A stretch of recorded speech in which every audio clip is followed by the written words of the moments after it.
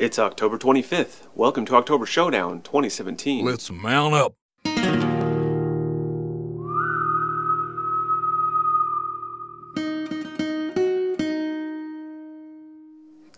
Hey guys, so I'm back at it today.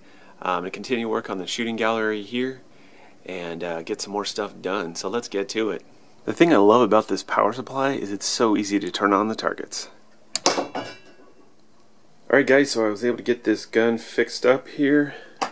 Seems to be working better now. Um, I had to uh, glue the uh, barrel of the gun on because it kept sliding off and I had to reinforce the uh, cable a little bit but everything seems to be working see if we can take some shots here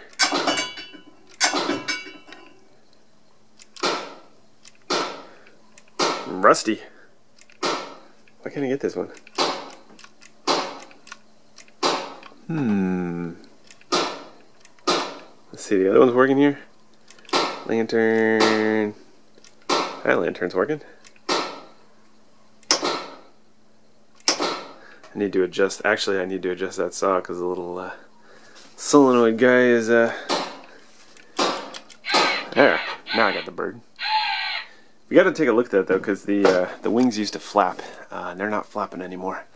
So uh, maybe the, uh, maybe replacing the batteries there will solve that problem, I don't know. So Lori carved up these pumpkins last night and they're looking awesome. And now I need to make some flicker LEDs for them. Uh, so I thought I'd show you what I'm doing for that. So I'm pretty sure I talked about this before, uh, but if you haven't seen it, uh, this is how I set up the pumpkins uh, to hook into the RCA power supply. Uh, I bought a bunch of these female uh, RCA plugs. Um, I got these guys on eBay a long time ago. Um, I actually went and ordered more because this is my very last one. Uh, so I went on and got more of those guys and the way these work is if you're looking for these yourself, if you're looking for solderable female RCA plugs, uh, and basically what they do is they just unscrew like this and then here's the, the part that goes in the cable and then this is the uh, point that you solder to. And I have this uh, wire here, this is just a speaker cable, I think this is 18 gauge. You don't need anything this heavy really, uh, but I like it because it's it has a thick um, insulator here on here. Uh, I might blanking on what it's called, but I feel like it's less likely to break uh, from being carried around and stuff like that. So all I do is I just uh, separate the two wires like that, and then I strip off the ends. just like that. And then I clip it here on my uh, soldering iron helper here. And go ahead and put some solder on these wires, which I believe is called tinning, if I'm remembering correctly. Alright, got that done. Now I need to put the uh, RCA plug tip in there.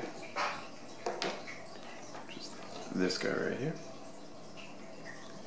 So I clip it in here. Alright, and then what you want to do is you want to put a little solder on the plug first. Um, that makes it easier to get going.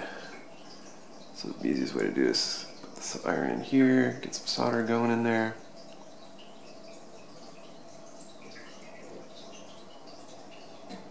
Alright, that's in there. It helps sometimes to bend the uh, little plugs up a little bit. There we go, that's better. That way you have a little bit more room to work. Uh, now we take our wire and then on the shorter center section is where the uh, the red wire or the positive wire would go. It's right here. And since we've got wire solder on the uh, terminal and on the wire, usually uh, connects pretty easily. So now I gotta flip around and do the other side. Alright, so now I'm just gonna take do the same thing here. For whatever reason the, uh, the negative side always is a little bit trickier to get the solder to stick on here. There you go. And you gotta get the wire in there. Just like that. There we go. It's always fun trying to bend these things so that they go where you want. There we go. Alright, that guy's soldered. And then you just take it off. Move it back a little bit. And then we're to take the uh, the other part of the plug here, put this on the end of the wire, just like that. And then it pulls through.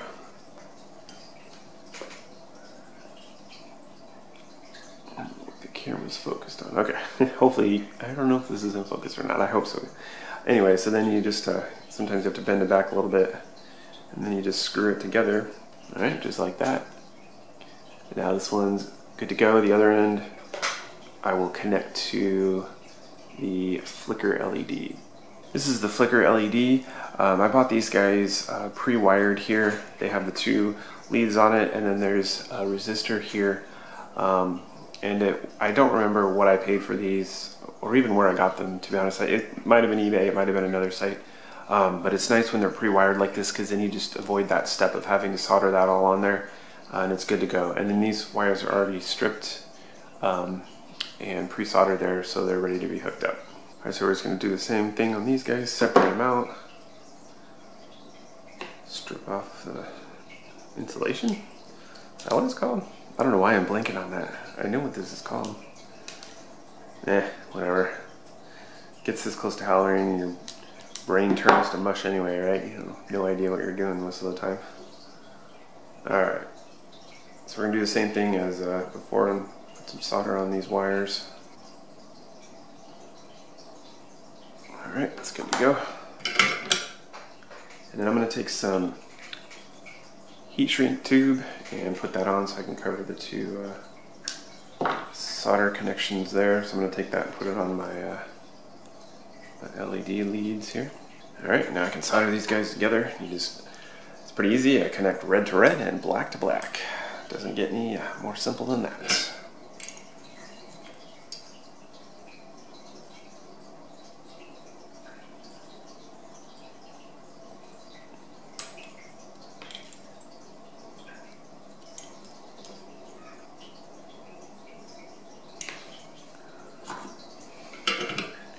Alright, those are soldered. So now I just take the uh, heat shrink tube and slide it down to cover my uh, connection here. Just like that. Whoop. That one slid off. Just trying to run away. Alright, so we got that there. And then I'm going to take my heat gun here and just melt that down. Shrink that up.